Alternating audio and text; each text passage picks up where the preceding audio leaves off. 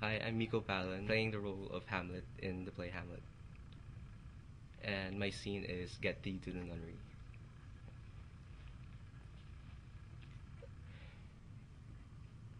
Get thee to the nunnery!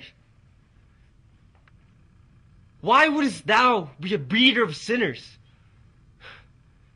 I am myself indifferent, honest, but yet I could accuse me of such things that it were better if my mother had not borne me.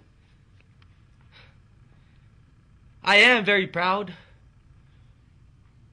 revengeful, ambitious, with more offenses at my beck than I have thoughts to put them in, imagination to give them shape, or time to act them in. What should such fellows as I do, crawling between earth and heaven? We are art knaves all. Believe none of us. Go thy ways to a nunnery.